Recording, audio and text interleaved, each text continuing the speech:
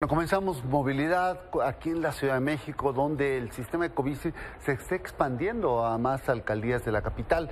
Pronto habrá ya una red de 579 cicloestaciones en toda la ciudad. David Rodríguez con la información. El uso de la bicicleta es una constante en la Ciudad de México, por lo que el sistema Ecobici expandió su servicio a tres alcaldías. Ahora estará en Álvaro Obregón, Azcapotzalco y Coyoacán. Ante la gran demanda de usuarios por tener este transporte, la Secretaría de Movilidad ya colocó las cicloestaciones para que las personas realicen sus recorridos de forma más cercana. Mira, en total vamos a llegar de todo el sistema a 687, antes teníamos 480, pues es un incremento de 30%, y en las alcaldías eh, Álvaro Obregón, Azcapotzalco y Coyoacán, eh, vamos a alcanzar un aproximado de 70 estaciones más o menos. Según los datos de CEMOVI, la demanda de los usuarios por tener esta cobertura aumentó.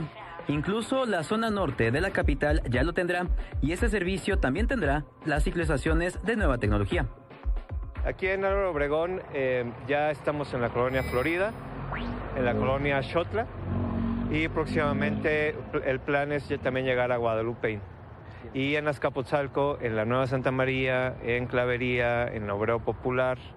En fin, vamos a llegar, eh, esa es la parte más norte del polígono y también en la parte poniente, de forma tal que Miguel Hidalgo conecta con Azcapotzalco y el límite va a ser casi el Parque Bicentenario.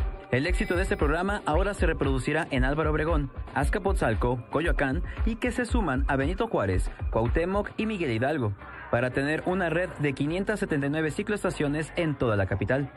Hemos visto que las membresías han subido importantemente. Muy probablemente las personas están viendo que el sistema funciona, que las bicicletas son nuevas, que son más cómodas que las anteriores.